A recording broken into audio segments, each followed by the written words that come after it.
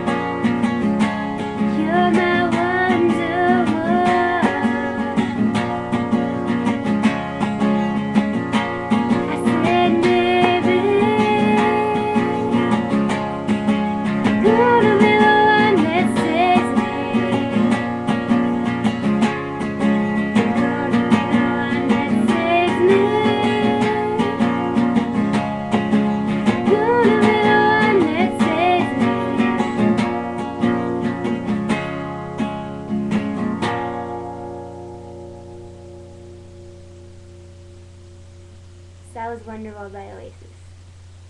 Oh, and in case you were all waiting for the riff, here's how it goes.